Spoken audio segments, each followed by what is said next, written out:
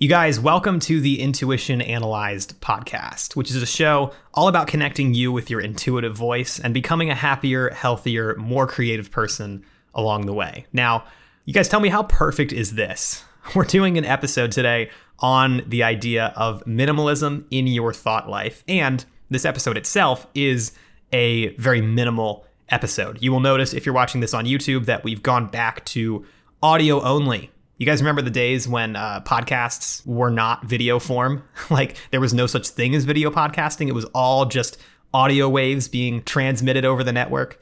That's what we're doing today. And if you're wondering why that's the case, why we're talking about minimalism, why we're doing a minimal episode, I'll tell you guys just a quick story. This week or this past week, I actually just moved from my my old apartment in downtown Birmingham to another apartment just about 20 minutes away. It's a new space. I'm living with some really close friends of mine now. It's a good situation.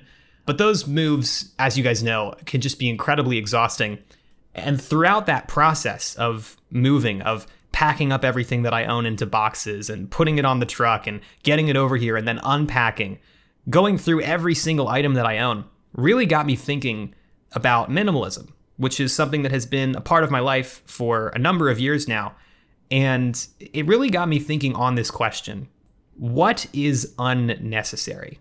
Probably the foundational question of minimalism, but I don't want to talk about that question today as it relates to your physical stuff. Okay.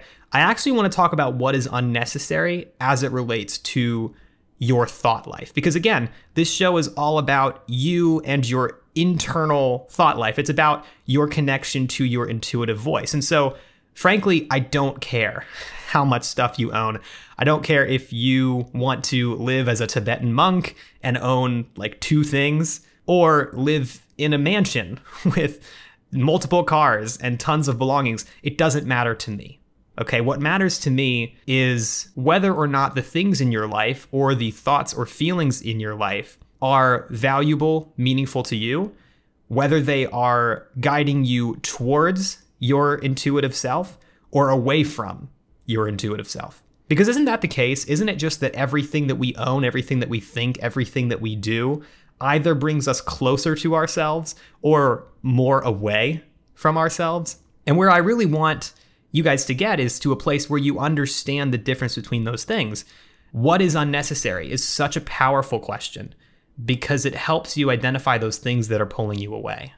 If you're struggling to figure out what your intuitive voice is, is trying to say to you, oftentimes it can be because there is just too much else going on around you. And that's the power of the question what is unnecessary? And this is also personal to you. We're going to talk more about how to answer this question in just a second. But I also want to emphasize to you that this is going to be personalized and tailored to your needs because there are just as many brands of minimalism as there are people. You know, just as we talked about in the last episode about the creative education dilemma, how every artist is on a different path, starting from a different place, going to a different place, seeking some different goal. The same exact thing is true of minimalism. It's not about what is valuable, period. It's about what is valuable to you. Only you can find, define, and seek out yourself. All I can really do is ask questions. All I can really do is give you steps to take, strategies to follow, ways to think about these things. So let me give you this this simple guide and we'll get out of here because again, we're keeping this episode minimal. I want to think about what is unnecessary to your thought life, to your mind, to the things that you think and feel and experience in terms of two main sectors, the external and the internal. Because that really is what you're dealing with. You know, there's the things in the world around you that can remind you of who you are, how you think, what you feel intuitively and instinctively, where you're trying to go in your life, and those things that distract you. And the same is true of your internal mind. There are thoughts and patterns of thinking and feeling that can, again, align you with yourself and those that can pull you away.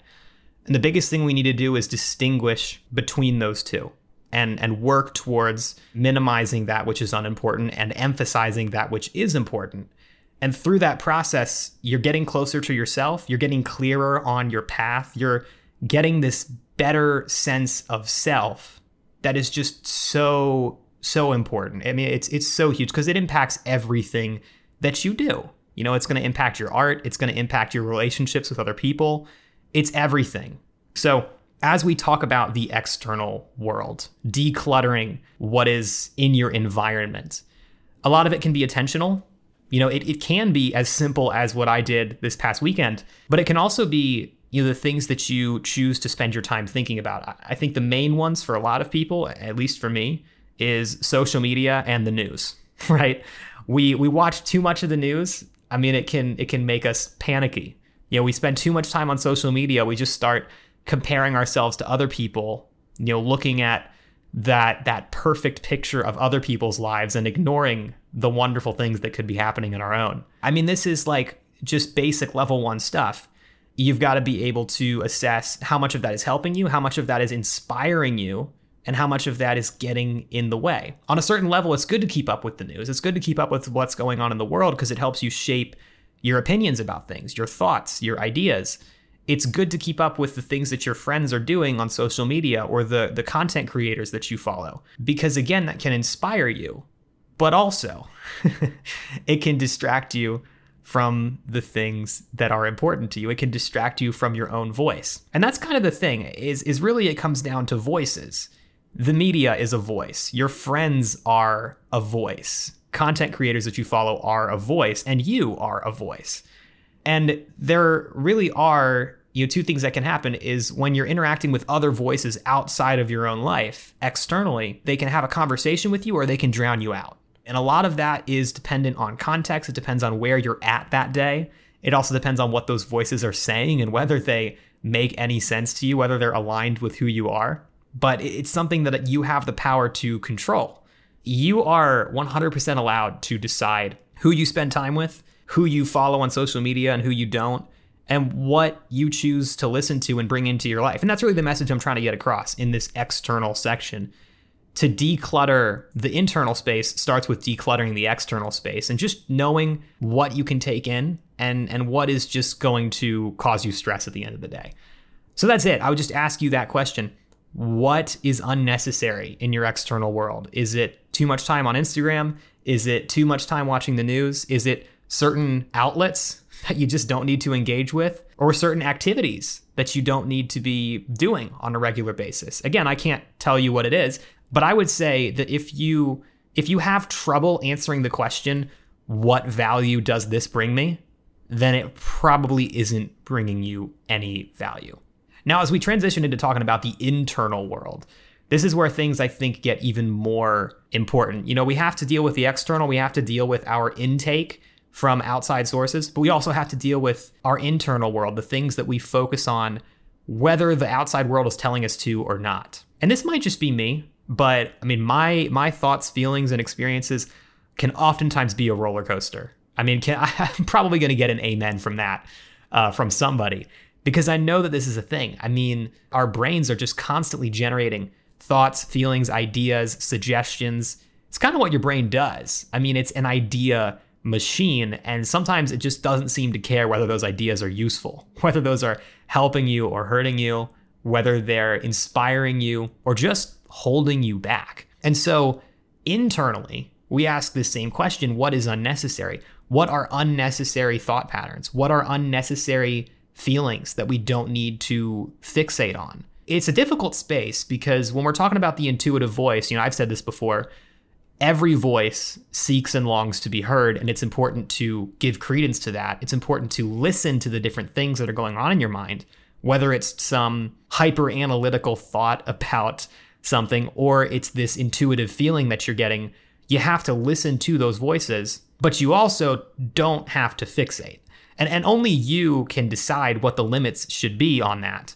But i find that both sides of this equation are are very important a way that I've found to really flush out those thoughts that are just kind of leading you down a bad path is taking some time to write it down or speak it out, like speak it out physically. When thoughts and feelings are kind of running rampant and taking you in different ways, it can be really helpful to just take some time, sit down, and just get it out of your head. So, this practice that I've been doing lately that's been really helpful has been pretty much every day when I wake up. The first thing I do is I take out my phone, I go into an audio recording app, and I record just a pure stream of consciousness answering the question, where is my energy at today? And that's like an all encompassing question. It's what am I thinking about this morning? What am I feeling this morning? What is my brain experiencing on this brand new day?